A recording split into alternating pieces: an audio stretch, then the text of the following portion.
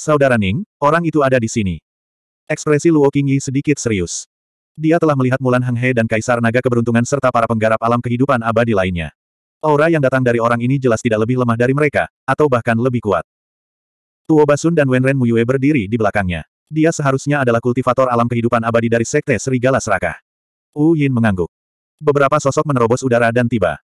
Itu adalah Cukuang, Dongfang Yanzi, dan Tuan Luo. Mereka bertiga tidak mendekati Ying Qingning tetapi melihat dari jauh. Para penggarap dari Dongsuan merasa senang karena mereka tidak tinggal di aliansi Dongsuan ketika mereka melihat penampilan Ying Qingning. Musuh Ning Beixuan ada di sini. Saya mendengar bahwa dia adalah seorang kultivator alam kehidupan abadi dari Sekte Serigala Serakah Dongsuan.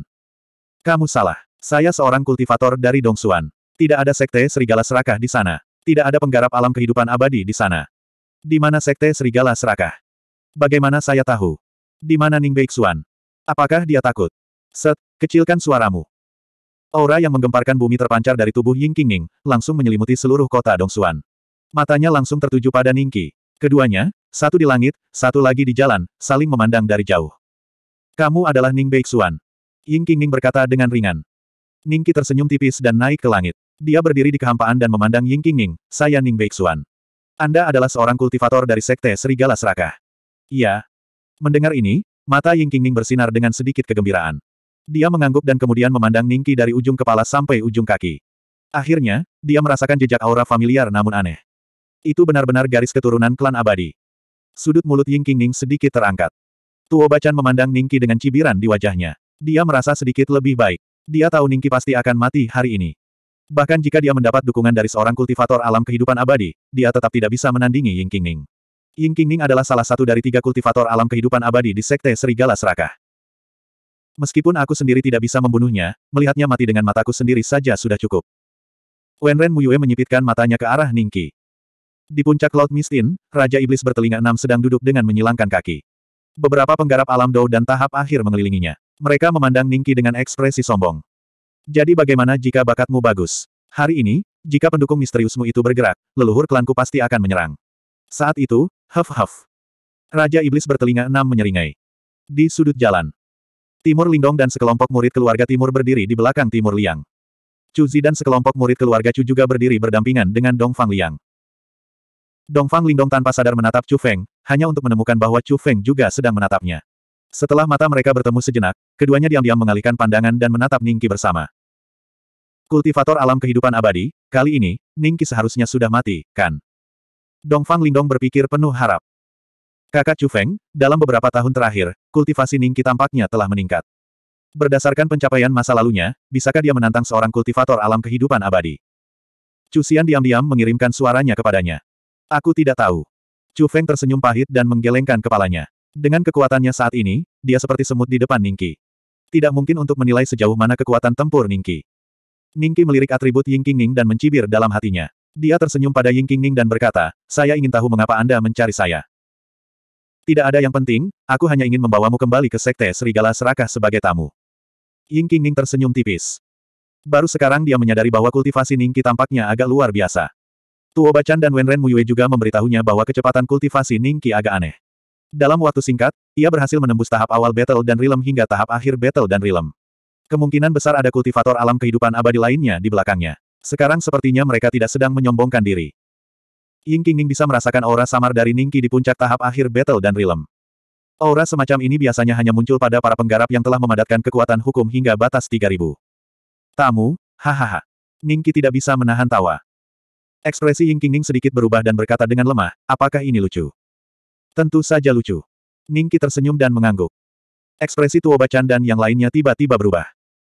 Satu naga, satu iblis, sembilan istana, delapan sekte, ekspresi leluhur tua tiga keluarga tiba-tiba berubah karena mereka semua mendengar suara junior mereka pada saat yang bersamaan. Leluhur tua, ada teknik terlarang kuno di area dalam. Kamu hanya bisa masuk tapi tidak bisa keluar. Zong Sun Yi dan yang lainnya sedikit malu. Karena mereka telah tinggal di area dalam selama beberapa tahun, lambat laun mereka menjadi terbiasa dan hampir melupakan hal penting tersebut. Jika bukan karena tawa Ningki yang tiba-tiba dan kata-kata Ying Qingning, mereka akan tiba-tiba menyadarinya dan segera mengirimkan transmisi suara ke leluhur tua mereka. Elder Ying, ada teknik terlarang kuno di area dalam. Setelah kita masuk, kita tidak bisa pergi lagi. Saya mendengar bahwa bahkan Master Sekte dari Sekte Inci Persegi, Mulan Heng He, juga sama.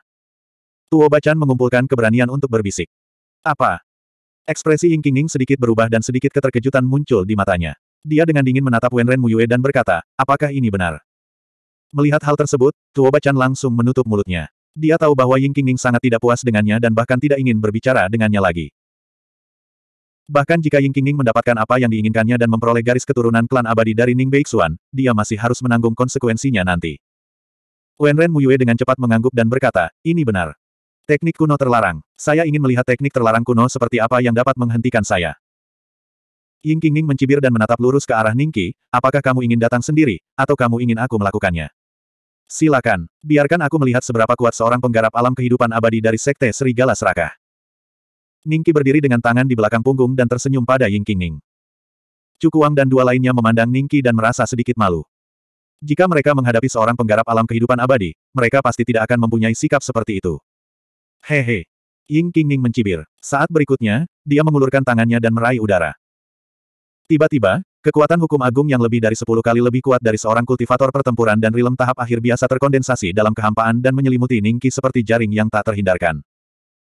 Begitu aura ini muncul, para penggarap di bawah dengan panik melarikan diri ke segala arah. Cukuang dan dua lainnya dengan cepat terbang mundur ribuan kaki, takut mereka akan terlibat. Ayo pergi, Anda masih mencari. Yin meraih lengan Luo Qingyi dan dalam sekejap, mereka langsung berteleportasi ribuan kaki jauhnya. Luo Qingyi memandang Wu dengan heran. Saat makhluk abadi bertarung, manusia menderita. Pernahkah kamu mendengar pepatah ini? Wu Yin memutar matanya dan berkata. 1092. Hukum macam apa ini? Lima aura berbeda.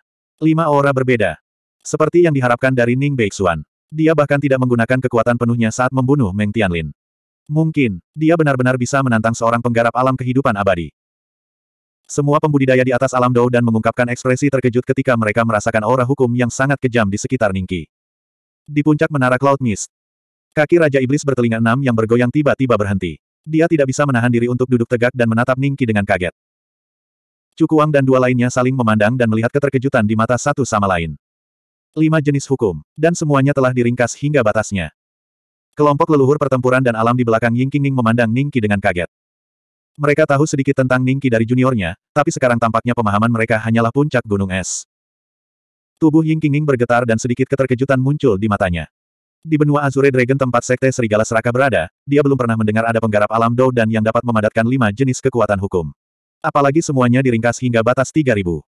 Bahkan keberadaan alam transendensi termuda dalam sejarah benua Azure Dragon hanya memadatkan tiga jenis kekuatan hukum ketika dia berada di alam Do dan tahap akhir. Ini karena dukungan dari leluhur transendensi terkenal di belakangnya.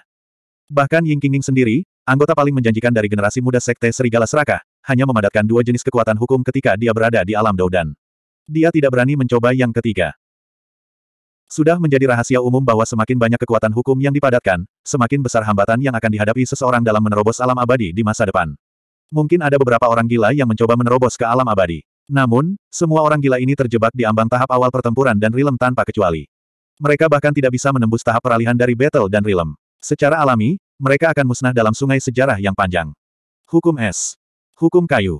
Hukum angin. Hukum guntur. Hukum api neraka.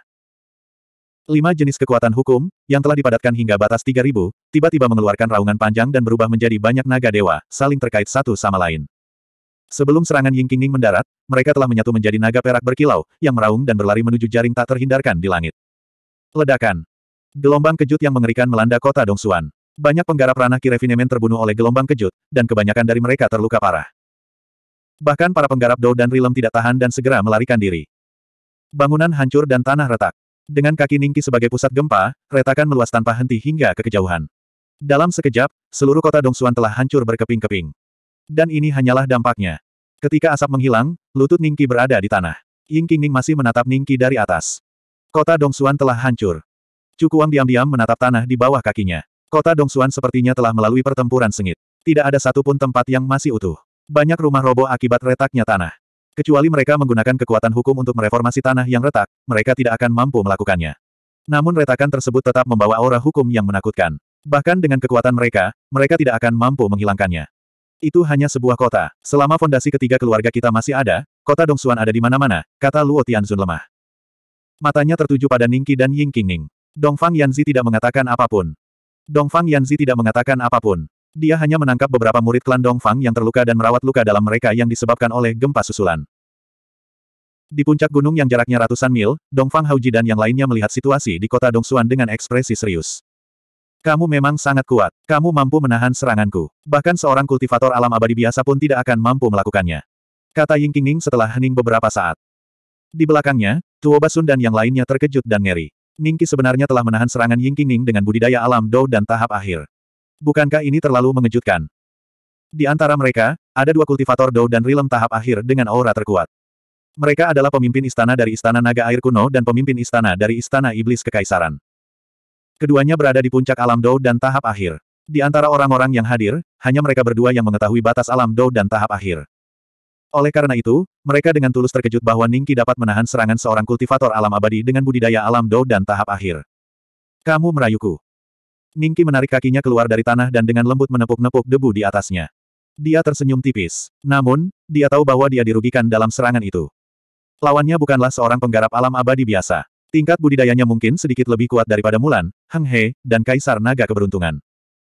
Jika dia terus bertarung, hanya masalah waktu sebelum dia dikalahkan. Namun, Ningki tidak khawatir. Paling-paling, dia akan mengeluarkan sembilan lonceng ilahi skanda. Setidaknya, dia bisa bertarung dengan lawannya hingga kedua belah pihak menderita. Aku tidak ingin membunuhmu. Kamu harus menjadi muridku. Ying Qingning tersenyum tipis. Dia tampak seperti seorang senior tua yang melihat batu giok yang bagus. Para penggarap kota Dongsuan merasa bahwa situasinya telah berubah terlalu cepat. Mereka tidak dapat memahaminya. Banyak mata iri tertuju pada Ningki. Seorang kultivator alam abadi menerima seorang murid. Ini adalah impian banyak penggarap tahap akhir Dou dan Rilem. Kamu ingin menerimaku sebagai murid. Ningki memandang Ying Qingning dengan senyum tipis dan berkata, apakah kamu yakin itu bukan karena garis darah surgawi di tubuhku? Garis darah surgawi. Mata semua orang dipenuhi keraguan. Selain Tuo Baying, Wenren Muyue, dan Ying Qingning, tidak ada yang tahu apa itu garis darah surgawi. Mereka bahkan tidak memiliki konsep garis darah surgawi. Tubuh Wenren Muyue gemetar saat dia memandang Ningki dengan ngeri. Jadi begitu, dia menatap Tuo Baying dengan dingin. Dia sudah mengetahui tujuan kunjungannya ke Dongsuan. Satu naga, satu iblis, delapan istana, delapan sekte, dan tiga keluarga besar memandang punggung Ying Qingning sambil berpikir. Mereka samar-samar merasa bahwa tujuan Ying Qingning memasuki domain naga ada di balik lapisan tipis wallpaper ini. Satu tusukan dan itu akan terungkap. Itu memang karena kamu memiliki garis darah surgawi. Dengan sedikit pelatihan dariku, tidak akan sulit bagimu untuk menerobos ke alam abadi dan melampauiku di masa depan. Ying Qingning mengangguk dengan tenang. Rubah tua, kamu masih ingin berbohong padaku. Belajar dari Wu Guodong, hehe. Mata Ningki menunjukkan sedikit ejekan. Dia berkata dengan lemah, saya sudah memiliki seorang master. Saya tidak akan menerima yang lain. 1093. Berlari. Semua pembudidaya di kota Dongsuan merasakan aura destruktif datang dari tubuh Ying Qingning. Satu demi satu, mereka meninggalkan kota Dongsuan dengan gila-gilaan.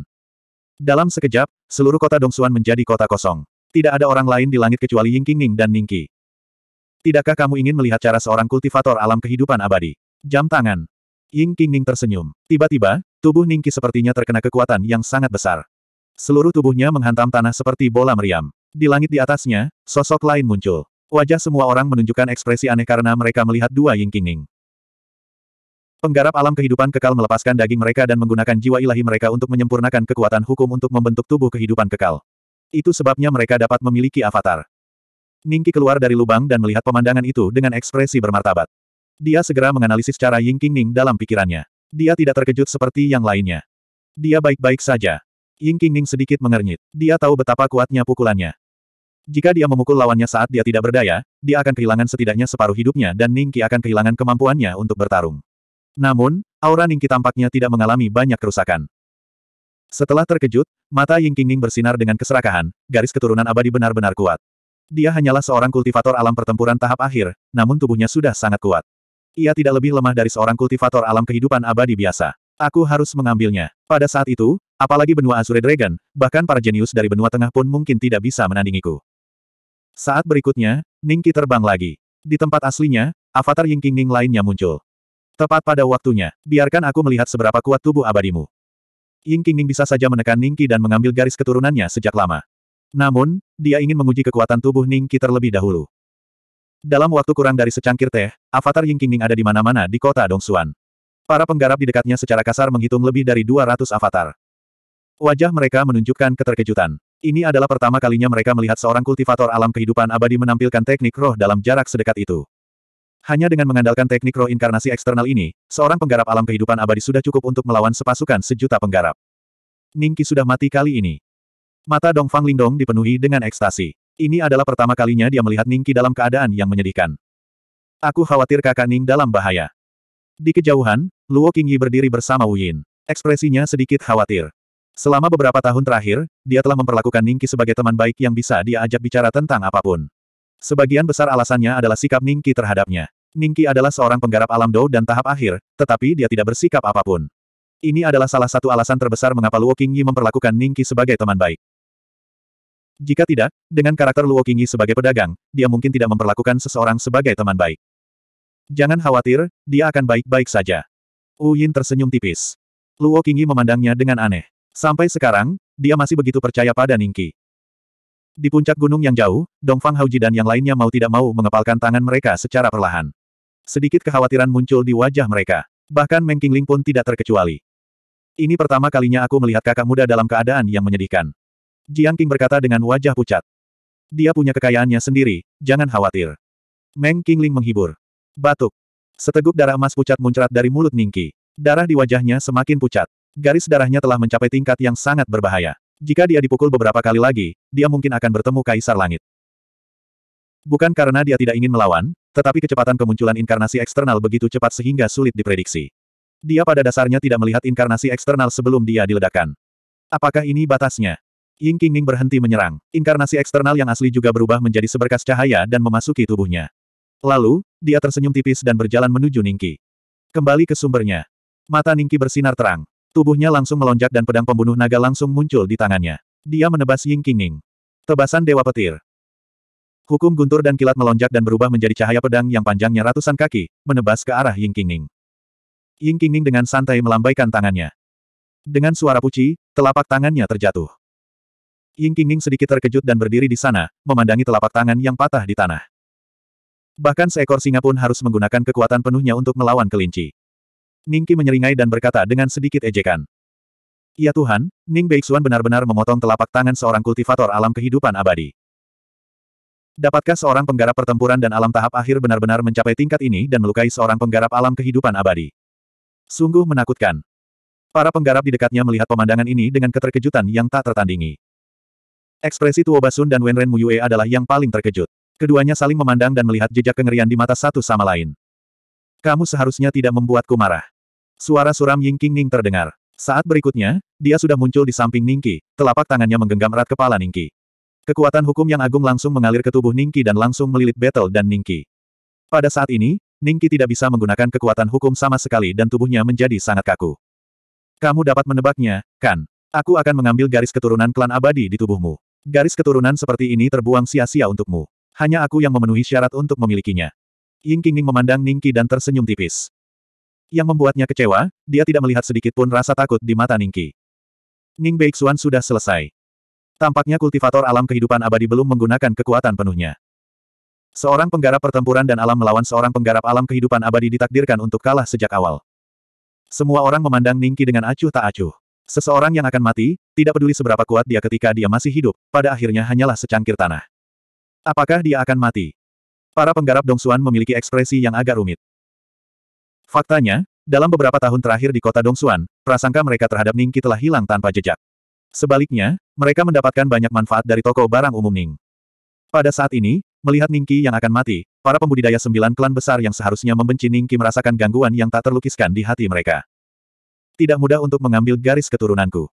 Ningki memandang Ying Ning dan tersenyum tipis. Sambil berpikir, lonceng ilahi sembilan roh tiba-tiba muncul di atas kepala Ningki. Aura yang agak kuno perlahan menyebar. Ekspresi Ying Qingning tiba-tiba berubah. Dia merasakan bahaya. Bas gelombang. 1094. Eh. Suara lembut terdengar dari kehampaan. Riak menyebar dan beberapa sosok keluar dari sana. Mulan Ganghe. Kaisar Naga Keberuntungan. Kaisar Iblis Enam Telinga. Para penggarap alam kehidupan abadi yang muncul bersama beberapa tahun yang lalu telah muncul lagi di kota Dongsuan. Mereka melihat sembilan lonceng ilahi skanda dengan kaget. Berapa tingkatan instrumen mistik ini? Mulan Ganghe bergumam pada dirinya sendiri. Aku khawatir itu adalah instrumen mistik tingkat tertinggi. Kaisar Naga Keberuntungan melirik Ningki dengan ekspresi rumit.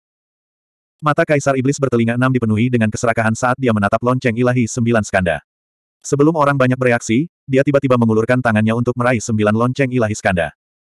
Instrumen mistik ini milikku. Sebelum tangannya bisa menyentuh lonceng ilahi sembilan skanda, tubuh Kaisar Iblis telinga enam tiba-tiba membeku di udara.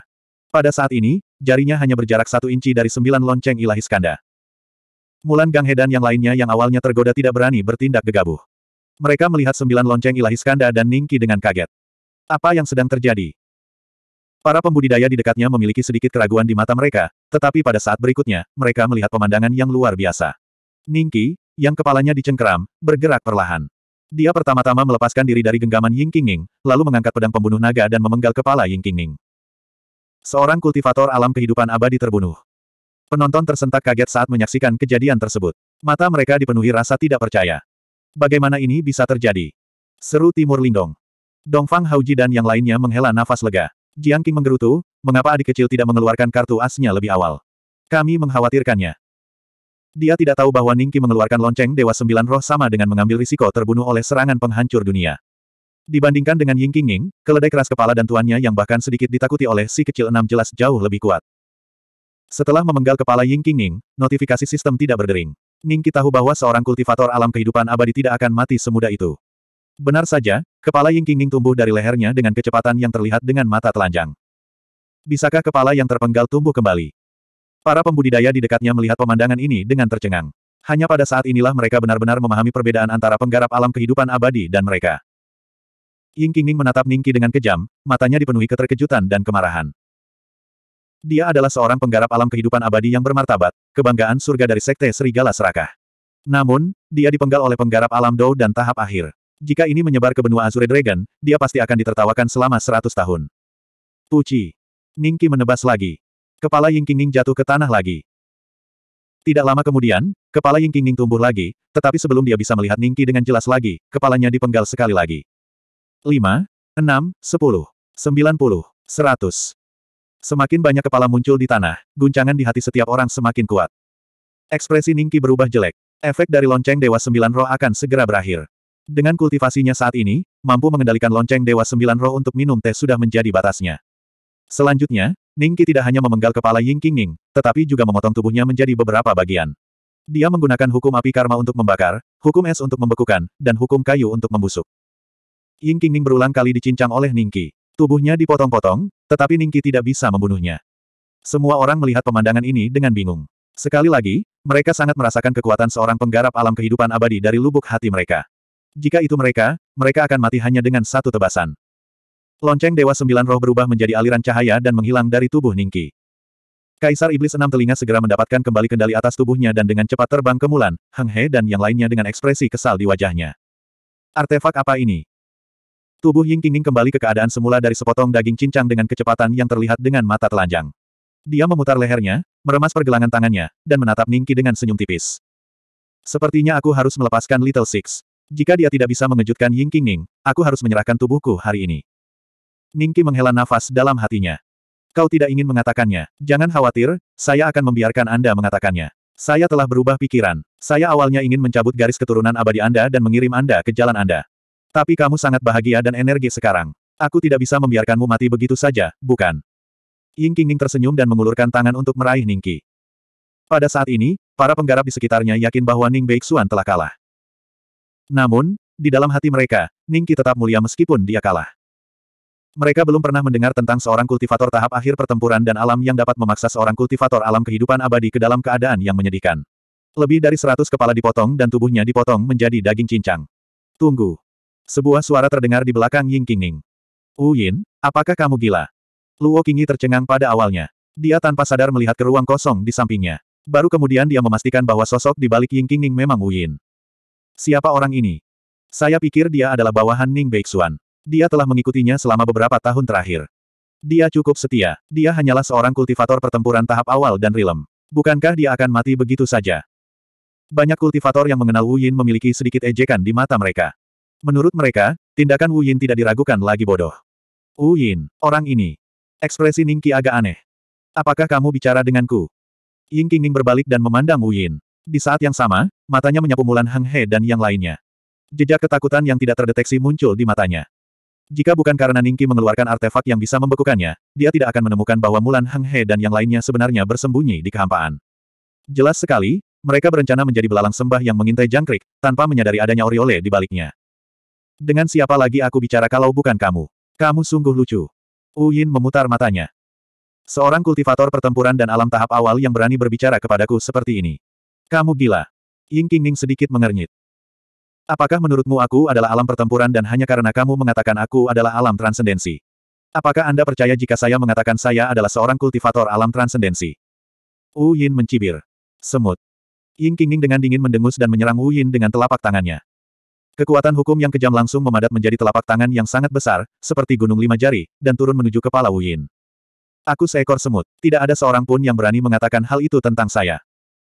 Senyuman di wajah Wu Yin berangsur-angsur memudar, dan nada suaranya sepertinya berubah menjadi orang yang sama sekali berbeda. Saat dia berbicara, ribuan siluet tiba-tiba muncul di langit di atas kota Dongsuan. Masing-masing dari mereka tampak persis seperti Wu Yin. Siapa semut itu? Wu Yin dengan santai membubarkan serangan Ying Qingning dengan telapak tangan dan tersenyum padanya. Alam kehidupan kekal. Dia adalah seorang kultivator alam kehidupan abadi. 1095. Wu Yin, orang ini sebenarnya adalah seorang kultivator alam kehidupan abadi. Bagaimana ini mungkin? Luo Qingyi hanya merasa pandangan dunianya telah runtuh dalam sekejap. Pria nakal itu, yang sering tidak sengaja menabrak orang di jalan dan hanya berani tersenyum meminta maaf setelah dimarahi orang lain, sebenarnya adalah seorang kultivator alam kehidupan abadi. Ini, bagaimana, adalah, bisa, bisa. Susah, yang sampai sekarang belum muncul, tiba-tiba muncul di samping Cukuang dan yang lainnya. Matanya dipenuhi dengan keterkejutan saat dia melihat ke arah Wu Yin dan bergumam pada dirinya sendiri, kultivator alam kehidupan abadi di belakang Ningki sebenarnya adalah dia. Di puncak gunung yang jauh, Dongfang Haoji dan yang lainnya juga terkejut. Kemudian, semua orang meledak dalam ekstasi. Wu Yin tidak hanya memiliki hubungan dekat dengan Ningqi, tetapi karena dia telah tinggal di aliansi Suan Timur selama beberapa tahun terakhir, hubungannya dengan mereka juga cukup baik. Karena Wu Yin adalah seorang kultivator alam kehidupan abadi, dan dia masih berdiri di saat kritis ini, itu berarti dia ingin melindungi Ningqi. Mungkinkah orang yang melukai Huo Qingyang, mengalahkan Kaisar Iblis bertelinga enam, dan menakuti Mulan Hang He? Sungguh, sungguh tidak bisa dipercaya. Banyak kultivator yang memarahi Wu Yin sebelum mengenalinya. Rasa dingin tiba-tiba muncul dari telapak kaki mereka dan langsung menjalar ke atas kepala mereka. Pakaian mereka sudah basah oleh keringat dingin. Dua, dua ribu avatar. Ying Qingning sedikit terkejut, dan segera menunjukkan ekspresi tidak percaya. Dua ribu avatar berarti pihak lain adalah seorang penggarap alam kehidupan abadi. Bagaimana bisa ada keberadaan seperti itu di tempat ini? Dia tidak percaya bahwa selain empat benua suci dan benua tengah, akan ada keberadaan yang begitu menakutkan di alam kehidupan kekal. Bahkan dia baru mencapai puncak alam kehidupan abadi awal. Tanpa satu atau dua ratus tahun, diperkirakan dia tidak akan mampu menerobos ke alam kehidupan abadi tengah. Melawan penggarap alam kehidupan abadi tahap akhir, dia tidak punya peluang untuk menang. Jika dia harus membuat analogi, maka itu sama saja dengan Ningki yang menentangnya. Tapi dia tidak memiliki lonceng ilahi sembilan roh milik Ningki. Mungkinkah orang ini dot dia? Wajah Kaisar Iblis bertelinga enam menjadi serius saat dia melirik ke arah Mulan Hang He dan yang lainnya. Aku tidak tahu, dia selalu berubah, tapi... Siapa lagi selain dia? Mulan Heng dia mengungkapkan senyuman pahit. Melihat Ying Qingning tampak tercengang di tempat, Wu Yin tersenyum tipis dan berkata, ada apa?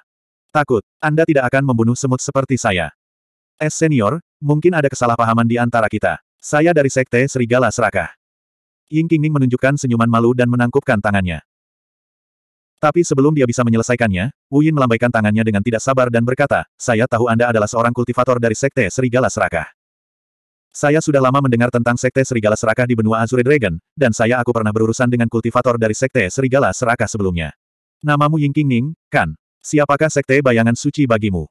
Bagaimana mungkin, senior, kamu pernah ke benua Azure Dragon? Ketika Ying Qingning melihat pihak lain segera menyebutkan nama satu-satunya leluhur alam fase hukum keluarga Ying yang tersisa, wajahnya tiba-tiba menunjukkan sedikit kepanikan. Mungkinkah pihak lain bukanlah seorang penggarap alam kehidupan abadi, melainkan seorang penggarap fase hukum? Benua Azure Dragon. Mulan, Hang He, dan yang lainnya saling berpandangan dan melihat keterkejutan di mata masing-masing. Daratan naga hijau yang disebutkan Wu Yin jelas bukan Dongsuan. Itu hanya bisa menjadi satu tempat. Mereka akhirnya memastikan identitas asli Wu Yin. Apakah aku sedang berbicara denganmu sekarang, atau kamu sedang berbicara denganku? Wu Yin memandang Ying Qingning dengan dingin. Ying Qingning melompat ketakutan. Dari sikapnya yang tinggi dan perkasa, dia langsung merendahkan suaranya. Seolah-olah dia telah melihat nenek moyang keluarganya. Dia berkata dengan hormat, senior, Sadosek Holy memang nama leluhur keluarga Ying saya. Huff, jika nama keluargamu bukan Ying, kamu pasti sudah mati sekarang. Tahukah kamu itu? Aku punya sedikit persahabatan dengan Shadow Sek Holy yang lama itu, jadi aku tidak akan membunuhmu hari ini. Nyah. Yin tertawa sinis. Aku akan tersesat sekarang. Ying Qingning berbalik dan lari tanpa ragu-ragu. Dia bahkan tidak berani menatap Ningki yang berada tepat di depannya. Dia sudah menentukan bahwa pihak lain pasti telah menemukan garis keturunan klan abadi Ningki dan telah lama menjadikan Ningki sebagai targetnya. Baginya, dia seperti lalat tanpa kepala yang mengganggu di tengah jalan. Beruntung dia bisa mempertahankan hidupnya. Beraninya dia mengingini garis keturunan klan abadi. Penatua Ying. Tuo Basun, Wenren Muyue, dan yang lainnya juga bereaksi dan buru-buru terbang untuk mengejar. Adapun Su Hengtao, yang berdiri di belakang mereka, dia ragu-ragu sejenak dan akhirnya tidak pergi bersama mereka. Melihat ini, kelompok tetua dari sembilan klan super juga tinggal di kota Dongsuan. Saudara Ning, kamu tidak keberatan jika aku melepaskannya, kan? Huh, tidak ada cara lain. Saya memiliki sedikit persahabatan dengan leluhurnya, jadi tidak baik bagi saya untuk membunuh juniornya. Wu Yin berjalan ke arah Ning Qi sambil tersenyum. Lain kali, aku akan membunuhnya dengan tanganku sendiri. Terima kasih telah memberiku kesempatan ini. Ning Qi berkata sambil tersenyum tipis. Dia tidak mengubah sikapnya terhadap Wu Yin karena penampilannya hari ini. Karena Ning tahu bahwa karena Wu Yin begitu kuat sehingga Ying Qingning pun ketakutan seperti burung puyuh, dan telah berada di dekatnya setiap hari selama beberapa tahun terakhir, dia pasti punya tujuan. Apakah pihak lain memiliki niat jahat atau niat lain, Ning Qi merasa tidak perlu merendahkan dirinya untuk menyenangkan pihak lain. Itu bagus, itu bagus. Kamu pasti punya banyak pertanyaan untuk ditanyakan padaku sekarang, kan? Tanyakan saja. Wu Yin tertawa. Tidak ada yang perlu kutanyakan padamu. Ningki tersenyum tipis dan berjalan melewati Wu Yin. Hei, kenapa tidak ada yang ingin kau tanyakan padaku? Cepat dan tanyakan. Anda pasti sangat penasaran bukan? Wu Yin, yang sebelumnya mendominasi, sekarang seperti monyet, melompat-lompat di sekitar Ningki. Semua orang tercengang saat melihat pemandangan ini. Mereka tidak menyangka pertunjukan hari ini akan berakhir seperti itu. Haruskah kita tinggal atau pergi? Kaisar Iblis bertelinga enam memandang Mulan Hang He dan Kaisar Naga Keberuntungan. Tinggal, ini adalah kesempatan kita. Tidak mudah bagi kami untuk menangkapnya, jadi kami harus menyelesaikannya. Mulan Hang He ragu-ragu sejenak, lalu menganggukkan kepalanya dengan tegas. Para penggarap alam kehidupan abadi lainnya saling memandang dan membuat keputusan di dalam hati mereka. Mereka mengikuti Mulan Hang He dan yang lainnya dan terbang ke arah yang ditinggalkan Wu Yin dan Ningqi. Cukuang melirik Susa, lalu ke Dong Fang Yanzi dan Luo Tianzun. Mereka bertiga masih memiliki sedikit keterkejutan di hati mereka. Pada akhirnya, mereka tidak berbicara dan terbang ke arah keluarganya. Masalahnya sudah selesai. Ayo kembali. Di puncak gunung yang jauh, Meng Qingling tersenyum. Di puncak Yun Wuin. Tuan muda, haruskah kita mengikuti leluhur tua, atau? Anggota ras iblis battle dan rilem tahap akhir bertanya dengan hati-hati. Raja iblis bertelinga enam memasang ekspresi aneh. Dia ketakutan dan tidak mau. Setelah mendengar pertanyaan itu, dia berpikir sejenak dan berkata dengan kecewa, jangan pergi dulu. Ayo kita tetap di sini. Oh, kalian pergi dan cari tahu informasi lebih lanjut. Saya tidak akan pergi. 1096. Separuh halaman aliansi Dongsuan telah runtuh. Separuh halaman aliansi Dongsuan telah runtuh. Ningki bermaksud menggunakan kartu asnya, tetapi sebelum dia bisa melakukan apa pun, Wu Yin tersenyum dan melambaikan tangannya. Puing-puing di sekitarnya sepertinya terangkat oleh lengan yang tak terlihat dan perlahan-lahan terbang kembali ke tempat di mana ia runtuh. Seluruh halaman kembali ke keadaan semula dengan kecepatan yang terlihat dengan mata telanjang. Bahkan retakan di tanah berangsur-angsur hilang dan diperbaiki. Kamu punya beberapa trik di lenganmu. Ning Qi terkekeh. Bagaimana mungkin aku tidak mempunyai sarana untuk membela diri di dunia petinju? Wu Yin berkata sambil tersenyum. Meng Qingling dan yang lainnya terbang dan mendarat di belakang keduanya. Dong Fang Haoji dan yang lainnya memandang Wu Yin dengan rasa ingin tahu. Terutama Fang Bai. Beberapa tahun yang lalu, ketika dia meminta Ningki untuk menyelamatkan Fang Mo dan yang lainnya, dia menyulitkan Wu Yin. Sekarang dia memikirkannya, dia sungguh beruntung. Pihak lain mungkin tidak melakukan apa pun padanya untuk menghormati Ningki. Kalau tidak, dia akan lebih mati daripada mati. Adik Ning. Suara Kaisar Naga Keberuntungan terdengar dari belakang. Semua orang berbalik dan melihat sekelompok penggarap alam kehidupan abadi dari distrik dalam memandang Ningki dan Wu Yin dengan menjilat. Mulan Hang He tersenyum rendah hati, sementara Kaisar Iblis bertelinga enam yang nakal itu menyeringai datar. Satu-satunya kesamaan adalah mata mereka tertuju pada Wu Yin. Kaisar Naga Senior, ada apa? Ningki tersenyum dan menangkupkan tinjunya. Kami punya beberapa pertanyaan untuk Chaotic Demonic Lord. Kaisar Naga Keberuntungan tersenyum malu-malu. Raja Iblis yang kacau.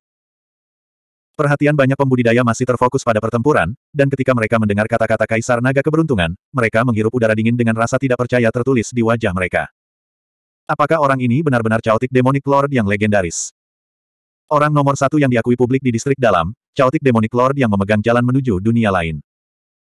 Ya Tuhan, aku sudah berteman dengan Chaotic Demonic Lord selama bertahun-tahun. Luo Qingyi, yang sedang berjalan mendekat, tertegun di tempat. Dia memandang Wu Yin dengan tidak percaya dan bergumam pada dirinya sendiri. Kau adalah Raja Iblis Chaotic. Ningki memandang Wu Yin. Apa pendapatmu tentang judul ini? Aku harus memutar otak untuk memikirkannya. Wu Yin berkata sambil tersenyum. Meskipun dia tidak secara langsung mengakui bahwa dia adalah Chaotic World Demon Sovereign, kata-katanya mengungkapkan identitas aslinya. Pada saat yang sama, beberapa petani di dekatnya bahkan lebih terkejut daripada yang lain. Sesosok tubuh tiba-tiba muncul di belakang Wu Yin dan berkata dengan hati-hati, Salam, Tuan Kura-Kura Hitam yang sempurna. Kura-Kura Hitam Abadi. Raja sejati Kura-Kura Hitam yang sendirian mendirikan rumah lelang Kura-Kura Hitam. Mulan, Heng He, dan yang lainnya terkejut. Mereka mengenali Li Dong. Dia adalah salah satu dari sedikit kultivator battle dan rilem tahap akhir di wilayah dalam. Dia hanya tinggal setengah langkah lagi untuk memasuki alam kehidupan abadi. Dia adalah ahli lelang rumah lelang prajurit hitam di kota Dongsuan. Dia biasanya berkultivasi secara tertutup. Selain urusan rumah lelang, dia tidak pernah mencampuri urusan kota Dongsuan. Sebagian besar kultivator hampir melupakan keberadaan Lidong. Memikirkan bahwa Tuan Kura-Kura Hitam yang sempurna, yang jarang menunjukkan dirinya dan tidak menonjolkan diri bahkan ketika dia melakukannya, sebenarnya adalah Raja Iblis Chaotic. Rasa dingin menjalar dari telapak kaki Mulan, Hang He, dan yang lainnya hingga ke atas kepala mereka. Hanya memikirkan bahwa rumah lelang prajurit hitam, yang tersebar di seluruh wilayah dalam, adalah milik penguasa iblis dunia Chaotic, mereka merasakan ketakutan yang berkepanjangan. Setiap gerakan dan tindakannya mungkin berada di bawah pengawasan Wu Yin. Rumah lelang prajurit hitam juga milikmu. Ningki bertanya dengan rasa ingin tahu. Wu Yin tidak bisa menahan tawa saat melihat keingintahuan Ningki. Ia mengangguk dengan bangga dan berkata, ya, rumah lelang prajurit hitam juga milikku. Selain itu, Dao Agung yang tercerahkan, Raja Sejati Long Fei, dan kemuliaan ilahi enam evolusi adalah milikku. Mulan, Hang He, dan yang lainnya saling memandang, dan rasa absurditas muncul di hati mereka. Orang-orang yang disebutkan Wu Yin juga merupakan kultivator nakal dari alam kehidupan abadi yang tidak menonjolkan diri di wilayah dalam. Tidak hanya itu, mereka semua pernah melakukan kontak dengan orang-orang tersebut. Sekarang, sepertinya mereka sedang berhadapan dengan Wu Yin. Ningki memandang Wu Yin tanpa berkata-kata. Sejak Wu Yin mengungkapkan kekuatannya yang sebenarnya, dia telah membalikkan pendapatnya sebelumnya tentang Wu Yin. Misalnya saja wataknya, temperamennya, dan lain sebagainya. Mungkin saja Wu Yin sengaja berpura-pura seperti itu. Tapi sekarang, Mendengar Wu Yin dengan bangga menyebutkan identitas yang dia gunakan di masa lalu, Ningki yakin Wu Yin masih sangat nakal. Hal ini tidak berubah. Setelah merenung sejenak, Ningki berkata, ketika saya bertengkar dengan Meng Tianlin beberapa tahun yang lalu, apakah Anda yang membantu saya? Tidak perlu berterima kasih padaku. Wu Yin berkata sambil tersenyum. Dia berasal dari tempat yang sama dengan Ying Qingning. Jelas, dia tahu bahwa saya memiliki garis keturunan klan abadi. Tapi dia tidak membantu saya selama bertahun-tahun. Jika bukan karena Ying Qingning, dia mungkin akan terus berpura-pura. Mengapa? Ningki tidak berencana untuk terlalu memikirkannya. Tidak peduli apa motif sebenarnya Wu Yin, Ningki yakin dia tidak dalam bahaya untuk saat ini. Kamu benar-benar tidak mau berterima kasih padaku. Wu Yin memutar matanya saat melihat Ningki berjalan langsung ke halaman. Raja Iblis, kita punya. Mulan dan Heng He dengan cepat menemukan kesempatan untuk berbicara. Tapi Wu Yin memandang mereka dengan acuh tak acuh dan berjalan ke halaman kecil dengan wajah bangga. Apa yang harus kita lakukan? Kenapa dia begitu sopan pada anak itu tapi begitu sombong pada kita? Kaisar Iblis bertelinga enam mengirimkan transmisi suara dengan wajah pucat. Ada sedikit ketidakpuasan dalam suaranya. Mulan dan Heng He terdiam sesaat sebelum berkata, dia tidak akan meninggalkan kota Dongsuan untuk sementara waktu. Kami akan tetap di sini saja. Karena Raja Iblis Dunia Chaotic mengabaikan kami, kami akan pergi mencari Ning Beixuan. Kaisar Naga Keberuntungan, kudengar dia membawa naga keberuntungan bersamanya. Apakah dia anggota klanmu? Dia Putri Lanya. Kata Kaisar Naga Keberuntungan sambil tersenyum. Tuan Lanya dari kediaman sembilan surga. Anda benar-benar mengetahui masa depan. Kata Kaisar Iblis bertelinga enam dengan nada cemburu. Jika bukan karena kejadian ini, mereka tidak akan tahu bahwa Kaisar Naga Keberuntungan telah menjalin hubungan dengan Ningki. Ini semua keberuntungan. Terakhir kali anak ini datang ke kota naga keberuntunganku, dia membantuku menemukan putriku yang telah lama hilang. Dengan hubungan ini, aku akan pergi mencarinya dalam beberapa hari dan memintanya untuk menyampaikan kabar baik. Bagi kami, kami tidak memiliki motif tersembunyi. Kami hanya ingin meninggalkan wilayah dalam dan pergi ke dunia yang lebih besar. Kaisar Naga Keberuntungan berkata dengan suara rendah. Ayo kita lakukan itu. Mulan Heng dia mengangguk. Pada saat ini, banyak pembudidaya yang menjulurkan kepala untuk melihat-lihat. Ada juga banyak kultivator dari Dongsuan yang terlihat malu. Mereka cukup pintar untuk membesarkan aliansi Dongsuan sebelum Ying Qingning tiba, tapi mereka tidak menyangka Ying Qingning akan melarikan diri karena takut pada Raja Iblis dari kekacauan primordial. Mereka sangat ingin kembali ke aliansi Dongsuan sekarang. Apa yang kamu lihat? Andalah yang berlari paling cepat. Sekarang kamu ingin kembali. Ayo ayo ayo ayo. Pergi. Diam di tempat. 1097. Sekitar sebulan telah berlalu sejak pertempuran besar itu. Kota Dongsuan secara bertahap kembali ke keadaan semula di bawah upaya bersama dari tiga klan besar dan sekelompok pembudidaya keliling. Retakan di tanah melekat pada kekuatan hukum, yang Luo Qingyi minta Ningki menjadi perantara agar Wu Yin bisa mengurusnya. Setelah pertempuran, hampir setiap kultivator di distrik dalam mengetahui nama Ningki. Seorang kultivator dari Dongsuan yang memiliki hubungan tak terkatakan dengan iblis kekacauan primordial di wilayah dalam membuat imajinasi semua orang menjadi liar. Ada yang mengatakan bahwa Ningki adalah anak haram Wu Yin, ada yang mengatakan bahwa dia adalah kakak laki-laki Wu Yin, bahkan ada yang mengatakan bahwa dia adalah murid Wu Yin. Beberapa bahkan mengatakan bahwa Ningki adalah seorang kultivator dari tempat itu, itulah sebabnya Wu Yin menjilatnya. Berapa banyak batu pemurnian dewa kelas menengah yang telah kamu kumpulkan selama periode waktu ini? Ningki memandang Sudong Lai dan berkata dengan tenang. Kekuatan hukum Ningki telah dipadatkan hingga mencapai puncaknya. Apa yang perlu dia tingkatkan selanjutnya adalah jiwa abadi penghancur dunia tingkat raja miliknya. Little Six mengatakan bahwa di atas kelas raja, ada kelas kerajaan, kelas kaisar, kelas saint, dan kelas ilahi. Bahkan ketika Little Six menguasai seluruh benua tengah, hanya ada tiga orang yang memiliki jiwa tingkat ilahi tingkat ilahi. Salah satunya adalah Master Tenax. Little Six mengatakan bahwa itu akan cukup bagi Ningki untuk meningkatkan jiwa ilahinya ke tingkat kaisar. Ini karena ada persyaratan wajib untuk tiga tingkatan jiwa ilahi, tingkat kaisar, tingkat suci, dan tingkat ilahi. Budidaya tuan rumah harus mencapai alam kehidupan abadi atau lebih tinggi. Bahkan orang-orang pilihan surga kelas 1 di benua tengah paling banyak memiliki jiwa ilahi kelas 1. Jiwa ilahi tingkat raja sangat langka, dan jiwa ilahi tingkat kaisar bahkan lebih langka lagi. Tuan, selama jangka waktu ini, karena Anda, bisnis toko kelontong menjadi jauh lebih baik dari biasanya. Bahkan, pistol, yang bahkan dapat digunakan oleh manusia pun dapat dijual seharga tiga buah batu dewa pemurnian bermutu rendah. Saya punya sudah mengikuti instruksimu dan menggunakan harga supermarket jauh untuk menukarkan batu dewa pemurnian kelas menengah. Selain itu, kamu telah meminta agar beberapa ramuan hukum hanya bisa dibeli dengan batu dewa pemurnian kelas menengah. Oleh karena itu, selama periode ini saat ini, sudah ada 1200 keping batu dewa pemurnian kelas menengah. Semuanya ada pada Master Dream. Su Donglai berkata dengan hati-hati. Adapun cara dia memanggil Meng Qingling, itu normal. Bahkan Ningki harus memanggil tuannya. Siapa di kota Dongsuan yang berani bersikap kasar padanya? Setiap kali mereka melihat Meng Qingling, mereka akan berusaha semaksimal mungkin untuk menyanjungnya, berharap dia akan mengatakan beberapa hal baik di depan Ningki. 1200 yuan, sangat banyak. Ningki sedikit terkejut. Saat itu, dia telah menghabiskan lebih dari setengah tahun demi 10 batu Dewa Refinite kelas menengah. Dia tidak pernah berpikir bahwa dalam waktu kurang dari sebulan, toko kelontong akan menghasilkan begitu banyak batu Dewa Pemurnian kelas menengah. 1200 yuan setidaknya dapat meningkatkan jiwa ilahi tingkat raja lebih dari satu kaki. Sebenarnya, Mulan Hang He dan yang lainnya telah berkontribusi lebih banyak. Mereka membeli sebagian besar esensi darah ras iblis kuno yang kamu keluarkan. Satu potong bisa menghasilkan 30 batu pemurnian dewa kelas menengah. Su Donglai berbisik. Aku mengerti. Temui tuanku dan bantu aku mendapatkan batu pemurnian dewa. Ningki tersenyum dan berkata. Iya. Su Donglai membungkuk hormat, berbalik, dan pergi. Wu Yin sepertinya tahu bahwa pembicaraan mereka telah selesai. Dia mendorong pintu hingga terbuka dan masuk. Su Donglai menekan rasa takutnya dan membungkuk pada Wu Yin. Kamu tidak mengunjungiku tanpa alasan. Ada apa, yang mulia iblis dunia caotik? Ningki tersenyum tipis. Tidak bisakah aku datang mencarimu jika tidak ada yang penting? Wu Yin memutar matanya karena ketidakpuasan. Aku akan segera mengasingkan diri. Jika ada yang ingin kau katakan, katakan segera. Ningki mendengus. Seperti ini, apakah kamu punya giok darah kelas atas? Wu Yin ragu-ragu sejenak. Dia tersenyum canggung dan menatap Ningki penuh harap. Kaulah yang membeli giok darah kelas menengah dari rumah lelang prajurit hitam, kan? Ningki bereaksi. Bagaimana dia bisa menjadi sasaran pihak lain? Mungkin karena kemunculan batu giok darah itulah dia memasuki pandangan Wu Yin. Aku tidak akan bertele-tele. Aku memang membeli batu giok darah itu. Jika bukan karena itu, bagaimana aku bisa menemukan keturunan dari garis keturunan klan abadi? Jujur saja, apakah ayahmu adalah Feng Jiuxian? Wu Yin menatap mata Ningki. Ningki sedikit terkejut. Dia mengerutkan kening dan berkata, jadi bagaimana jika dia iya? Jadi bagaimana jika dia tidak? Huh, aku tahu dia menyinggung monster tua terkuat di benua Azure Dragon karena gadis kecil itu. Dia disergap dan menghilang pada akhirnya, tapi aku bukan musuhnya. Sebaliknya, aku punya musuh yang sama dengannya. Jika ayahmu adalah Feng Jiuxian, bawalah aku menemuinya. Aku akan berdiskusi dengannya bagaimana cara kembali ke benua Azure Dragon untuk membalas dendam. Dengan adanya aku, peluang kita untuk menang pasti lebih tinggi dibandingkan jika dia sendirian. Wu Yin berkata dengan suara rendah. Feng Jiuxian, gadis kecil itu.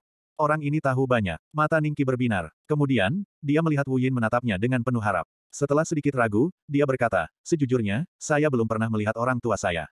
Jadi, saya benar-benar tidak mengenal Feng Jiuxian yang Anda sebutkan. Untuk saat ini, anggap saja dia adalah ayah kandung saya. Aku tidak tahu di mana dia sekarang. Kamu belum pernah melihat mereka. Benar sekali, Dongsuan adalah salah satu gua surga dari Sekte Serigala Serakah. Jika dia tinggal di Dongsuan, dia pasti akan ketahuan. Namun, dengan basis budidayanya, akan mudah baginya untuk bersembunyi, kecuali dia terluka parah. Wu Yin mengerutkan kening. Ceritakan padaku tentang Feng Jiuxian. Ning Qi tersenyum. Jarang sekali Wu Yin mengetahui hal ini. Dia juga bisa mengetahui tentang Feng Jiuxian melalui Wu Yin. Sekalipun Feng Jiuxian bukan ayahnya, setidaknya hubungannya dengan dia tidaklah biasa.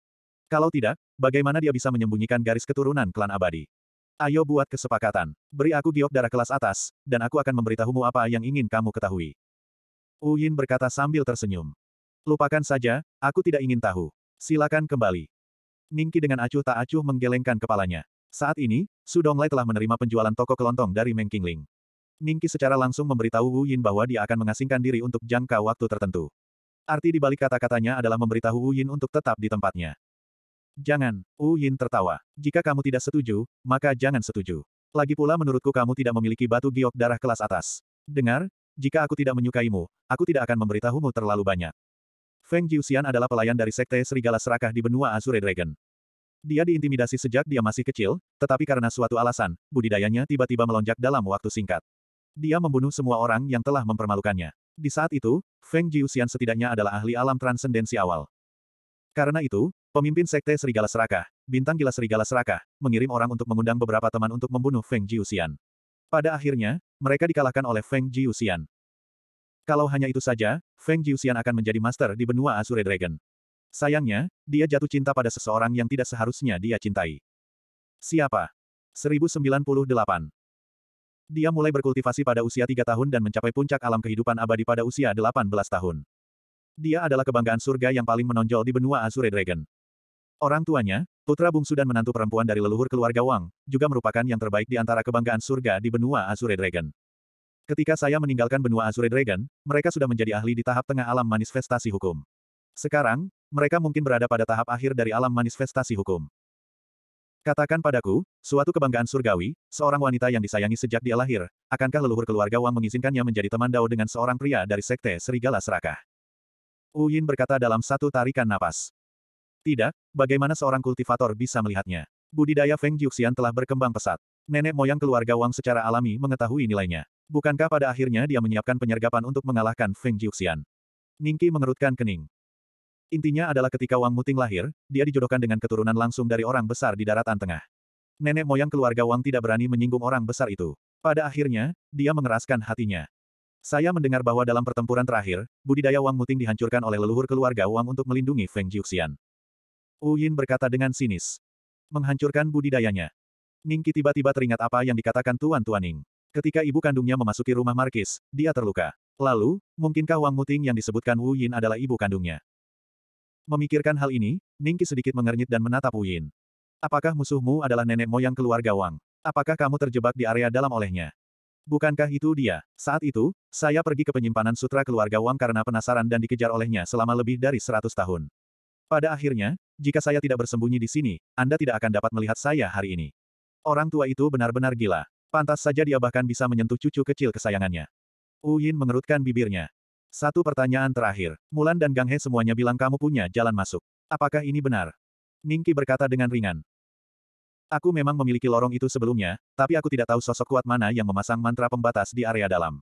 Sekarang, orang hanya bisa masuk tapi tidak bisa keluar. Bahkan aku pun sama. Wu Yin menghela nafas dan berkata. Bahkan kamu tidak bisa keluar. Ekspresi ngeri melintas di mata Ningki. Wu Yin secara pribadi telah mengakui bahwa dia adalah seorang kultivator pada tahap awal alam manifestasi hukum.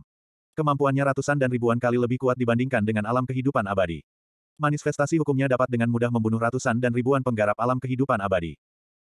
Tetapi jika dia tidak bisa meninggalkan area dalam, bukankah dia akan terjebak di sini selamanya? Iya, aku tidak bisa keluar, jadi aku ingin memastikannya denganmu. Kamu benar-benar tidak tahu di mana Feng Jiuxian berada. Dengan adanya dia, mantra pembatas ini pasti bisa dipatahkan. Ratusan tahun telah berlalu, dan selama kultivasi Feng Jiuxian pulih, dengan bantuan saya, bukankah mudah untuk menjungkir balikan keluarga Wang? Wu Yin memandang Ningki penuh harap, tapi dia kecewa melihat Ningki menggelengkan kepalanya. Jika itu masalahnya, biarlah. Wu Yin menghela nafas dan bersiap untuk pergi. Saat dia hendak pergi, Ningki memanggilnya, tunggu, saya bisa meminjamkan Anda giok darah kualitas terbaik, tetapi Anda harus mengembalikannya kepada saya kapan saja. Jika Anda setuju, maka kita sepakat. Ningki tersenyum. Saya tahu Anda memiliki giok darah kualitas terbaik, atau setidaknya giok darah kualitas atas. Jika tidak, mengapa Anda menjual giok darah kualitas menengah? Wajah Hu Yin menunjukkan sedikit keterkejutan, saya akan berlatih metode kultivasi. Selama saya berhasil, kekuatan manifestasi hukum dapat melonjak lebih dari dua kali lipat. Kamu tidak perlu memberitahuku hal ini, dan aku tidak ingin mengetahuinya. Ningki melambaikan tangannya dengan ringan. Saat dia hendak memberikan giok darah kualitas terbaik kepada Wu Yin, aura yang tidak dapat dijelaskan turun dari langit dan langsung menyelimuti seluruh domain naga. Wajah Wu Yin tiba-tiba berubah, dan dia tiba-tiba melihat ke langit. Mata Ningki bergerak sedikit, dan Little Six segera muncul di sampingnya. Begitu auranya muncul, Little Six menjadi sangat gelisah dan meminta Ningki untuk mengeluarkannya. Dia adalah Wu Yin memandang Little Six, dan ekspresinya tiba-tiba berubah sedikit. Ketika dia melihat Little Six, seolah-olah dia melihat leluhur tua keluarga Wang. Perasaan bahaya yang ekstrim muncul di hatinya, seolah-olah pihak lain bisa membunuhnya jika dia menggunakan seluruh kekuatannya. Wu Yin percaya pada perasaannya, jadi tanpa sadar dia mundur tiga atau empat langkah. Tapi sekarang, Little Six tidak memperhatikannya. Sebaliknya, dia bergegas keluar kamar dan menatap ke langit. Di langit cerah, ada sosok samar-samar terlihat terbungkus kabut tebal. Tidak mungkin memperkirakan seberapa besar angka ini, namun awan mungkin hanya mencapai lutut angka tersebut. Ningki dan Wu Yin keluar dari kamar pada saat yang sama dan melihat sekilas hantu itu. Ningki tidak merasakan apa-apa, tapi Wu Yin bahkan lebih terkejut daripada saat dia melihat Little Six. Sebagai seorang kultivator alam transendensi, dia dengan jelas dapat melihat bahwa kultivasi hantu jauh di atas miliknya. Apa ini? Seorang kultivator alam transendensi telah tiba. Mungkinkah itu nenek moyang generasi pertama dari keluarga Meng? Satu demi satu, para penggarap kota Dongsuan berkumpul dan menatap ke langit. Cukuang dan dua lainnya berdiri bersama dalam diam. Akhir-akhir ini banyak terjadi perselisihan di kawasan dalam. Yang jelas sudah memasuki masa sulit. Apakah menurut Anda sosok ini adalah nenek moyang generasi pertama keluarga Meng? Chu Kuang bertanya. Yang mulia Luo dan para penggarap alam kehidupan abadi saling bertukar pandang dan menggelengkan kepala, menandakan bahwa mereka juga tidak tahu. Mulan, Hang He, dan para penggarap alam kehidupan abadi lainnya segera muncul di langit di atas kota Dongsuan. Mereka melihat gambar hantu itu dengan rasa takut. Enam kecil, apakah masalahnya sangat serius? Ningki melihat ekspresi serius Little Six dan jantungnya berdetak kencang. Enam kecil. Wu Yin sedikit penasaran dengan nama Little Six. Bagaimana mungkin keberadaan yang bahkan dia takuti bisa disebut begitu saja? Ini serius, sangat serius. Waktunya sudah habis. Tidak akan lama lagi semua bagian daratan akan berkumpul di daratan tengah. Kata enam kecil dengan wajah muram. Saudaraku, apa dasar pernyataan ini? Wu Yin terkejut. Ini bukan sebuah lelucon. Daratan telah hancur begitu lama. Jika tiba-tiba berkumpul, tidak akan ada kultivator yang kuat yang dapat menghalangi dunia. Mungkin akan ada perang besar penggarap keempat. Tiga perang penggarap besar yang pertama semuanya berdarah dan banyak penggarap alam transendensi yang tak terhitung jumlahnya telah jatuh. Wu Yin lahir setelah perang besar penggarap ketiga. Enam kecil mengabaikan Wu Yin. Pikiran Ningki tiba-tiba disambar petir. Dia melihat sosok itu dengan hati-hati dan berbisik, itu dia. Iya, itu dia. Kata enam kecil dengan serius. 1099. Kataku, apa yang kalian berdua bicarakan? Wu Yin mau tidak mau bertanya. Tapi yang membuatnya marah adalah baik Ningki maupun Little Six tidak memperhatikannya. Mereka saling berbisik. Kultivasinya kurang lebih telah pulih. Wajah Little Six sedikit serius. Dia melihat bayangan kabur di langit. Setelah jeda, Little Six mengerutkan kening dan menatap Ningki, kamu memiliki aura sembilan skandabel. Apakah kamu menggunakannya baru-baru ini? Iya, seorang kultivator alam kehidupan abadi dari Sekte Serigala Serakah datang. Saya pernah menggunakannya sekali. Ningki mengangguk. Mata Wu Yin bergerak sedikit, sehingga alat musik itu dinamakan lonceng sembilan skanda. Dia belum pernah mendengar nama ini sebelumnya. Jika itu adalah instrumen terkenal, dia seharusnya sudah mendengarnya. Saat benua bertemu, Tenasius Donkey pasti akan menemukan tempat ini dengan mengikuti auranya. Setelah beberapa saat, dia melanjutkan, tempat paling berbahaya adalah yang paling aman. Saat benua bertemu, kamu tidak bisa tinggal di sini atau di Dongsuan. Bagaimanapun, keledai ulet telah ditekan di tanah terlarang tulang kering. Dia pasti akan kembali. Jika Anda ingin pergi ke benua tengah, Anda dapat mengambil langkah mundur. Ada empat benua suci di sekitar benua tengah. Jika Anda pergi ke salah satunya, saya yakin Anda dapat mengulur waktu. Dia menggunakan kekuatan hukum untuk menyampaikan hukuman ini kepada Ningki. Telinga Wu Yin bergerak-gerak. Dia hanya bisa melihat mulut Little Six sedikit terbuka, tapi dia tidak bisa mendengar apa yang dikatakan pihak lain. Ini berarti budidaya Little Six setidaknya lebih kuat darinya. Mata Wu Yin berkilat ketakutan. Tampaknya Feng Jiuxian pasti meninggalkan rencana cadangan. Mungkin orang ini ditinggalkan oleh Feng Jiuxian untuk membantu Ningki. Dia sudah sangat yakin bahwa Ningki adalah keturunan langsung Feng Jiuxian. Tapi dia tahu usia Ningki, jadi dia sudah bisa mengesampingkan kemungkinan Ningki adalah putra Feng Jiuxian. Lagi pula, ketika Wang Muting hamil, itu terjadi ratusan tahun yang lalu. Jika Ningki adalah putra Feng Jiuxian, usianya tidak akan sama. Oke, saya mengerti. Tetapi jika ada kesempatan, saya harus kembali ke Dongsuan. Masih banyak hal yang harus saya lakukan. Ningki berkata dengan suara yang dalam. Saudara Ning. Suara Zusa terdengar dari luar pintu. Ningki dengan lembut mengangkat tangannya dan pintu terbuka dengan sendirinya. Zusa bukan satu-satunya yang berdiri di luar. Mulan Heng He, Kaisar Naga Keberuntungan, Kaisar Iblis Bertelinga Enam, dan para penggarap alam kehidupan abadi lainnya juga berdiri di luar. Cukuang dan dua lainnya juga berada di belakang grup. Mata mereka agak mengelak saat melihat Wu Yin. Tuan-tuan, ada apa? Ningki berkata dengan suara yang dalam. Mulan Ganghe dan yang lainnya menangkupkan tangan ke arah Ningki dan kemudian memandang Wu Yin.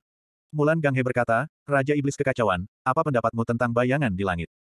Wajah semua orang sedikit serius. Aku tidak akan melakukannya. Basis kultivasi orang ini selamanya akan melampaui milikku.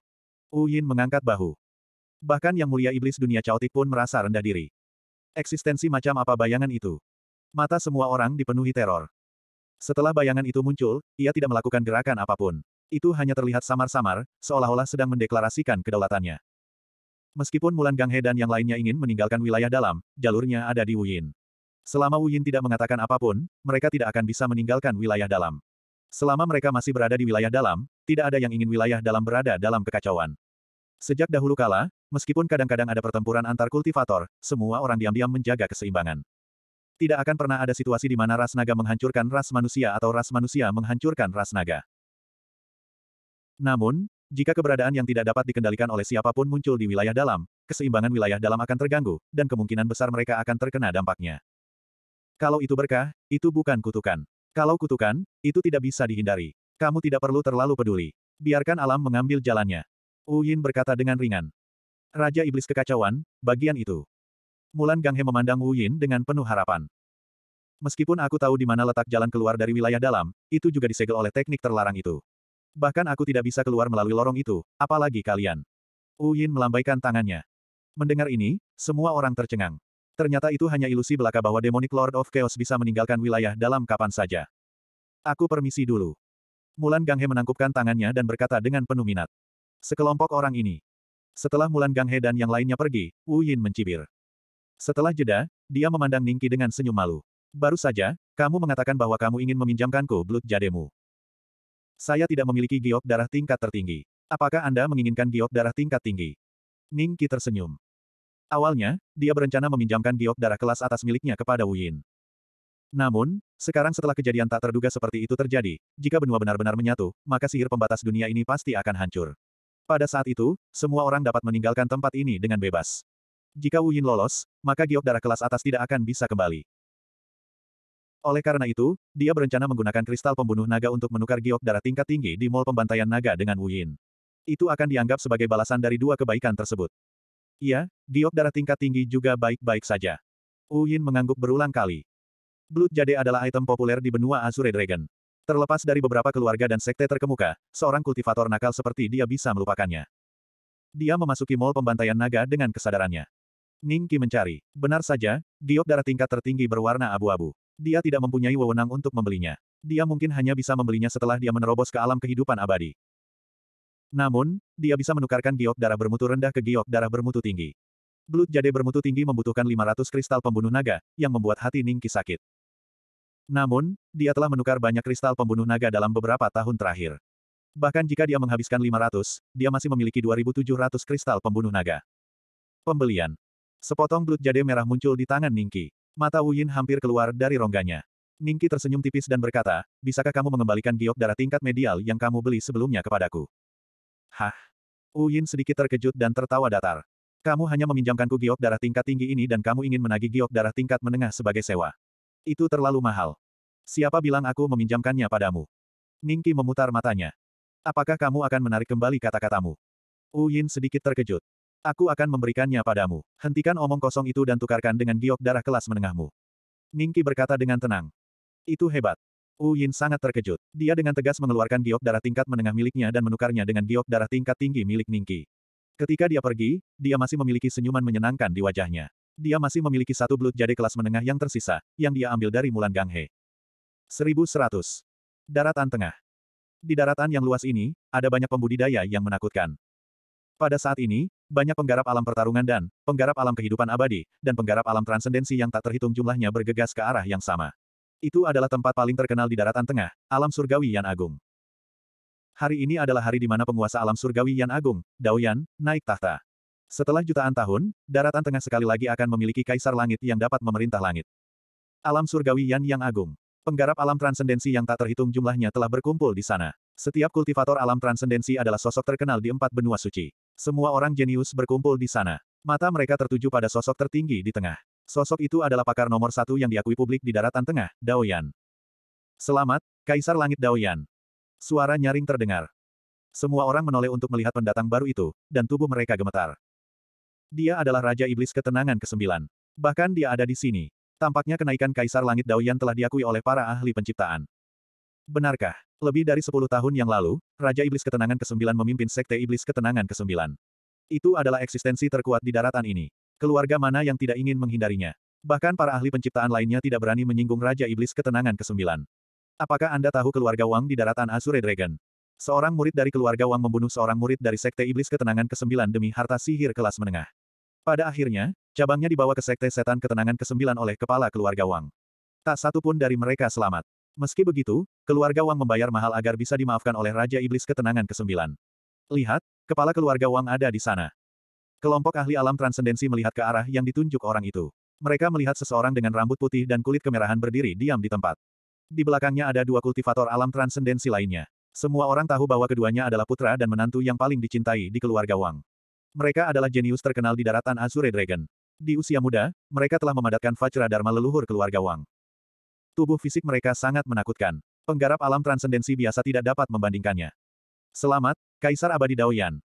Master penciptaan lainnya telah turun. Banyak kultivator yang hadir memiliki pandangan fanatik di mata mereka. Jarang sekali melihat seorang master penciptaan, tetapi dua orang telah muncul.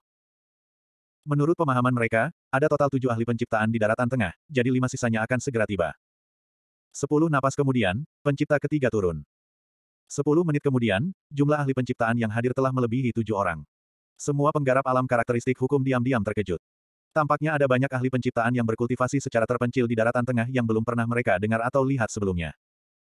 Jika para penggarap alam karakteristik hukum begitu terkejut, maka para penggarap alam kehidupan abadi dan penggarap alam pertempuran dan bahkan lebih terkejut lagi. Mereka memandangi 20 ahli penciptaan dengan sungguh-sungguh. Selain Kaisar Langit Daoyan, 20 orang ini seharusnya menjadi kekuatan tempur terkuat di dunia ini. Bagus sekali, semuanya ada di sini. Dao Yan, yang selama ini diam, perlahan membuka mulutnya. Riak tiba-tiba muncul di kehampaan, dan seekor keledai kecil keluar dan berdiri di samping Dao Yan. 20 ahli penciptaan dan semua penggarap alam karakteristik hukum yang hadir tersentak ketika mereka melihat ini. Keledai yang tampak sangat biasa ini juga merupakan ahli penciptaan. Dao Yan dengan lembut membelai leher keledai kecil itu dan dengan tenang berkata kepada orang banyak, saya Dao Yan.